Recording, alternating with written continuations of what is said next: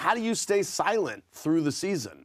I just because it was so we already it was so in the back of my mind like we dealt with it, we moved on from it. The expectation is that you're sharing everything that's going on in your life.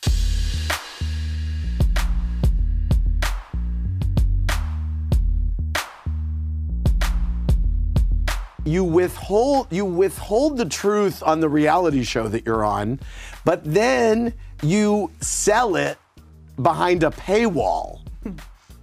Well, I talked about it on the free podcast. Okay. Right? And then you said And I didn't withhold I didn't it's not about withholding information.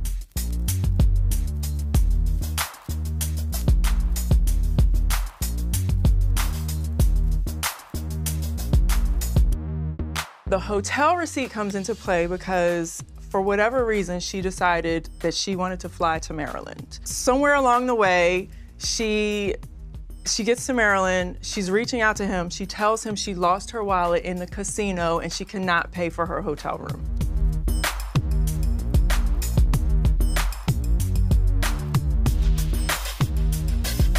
When when I found out about it, it sounded like BS to me, but he was very you know, he he was. You being, believe him. I believe him.